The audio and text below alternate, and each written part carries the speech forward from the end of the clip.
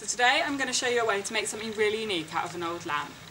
I got these figures, little Alice in Wonderland figures from the shop, and what I'm going to do is I'm going to stick them on to the lamp. So before I spray paint the whole thing, I'm going to stick on the figures with some Blu Tack just so I can get the placement.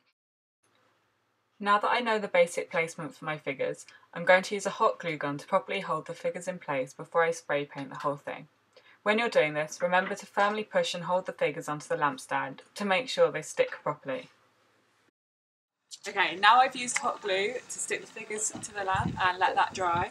I'm going to cling film the top of the lamp just to make sure that it doesn't get any spray paint on it.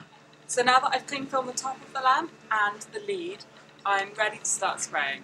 I'm going to use PlastiKote Twist and Spray Baby Blue Satin. Remember to shake the can really well for a minute before using it.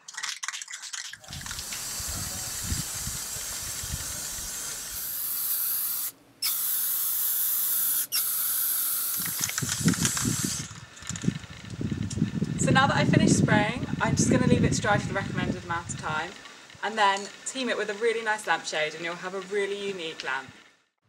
These are my before and after pictures.